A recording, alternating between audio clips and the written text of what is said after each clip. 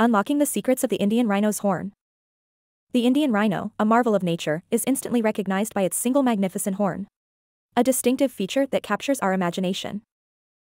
What's surprising is the material of this horn. It's made of keratin, similar to human hair and nails, growing throughout the rhino's life. This horn often draws attention to the myths that surround it. Some believe it possesses healing powers, leading to a dangerous trade in poached horns. In truth, the horn has no proven medicinal value. These myths only risk the survival of this incredible species, already endangered by habitat loss. Did you know, the horn helps the Indian rhino with daily tasks?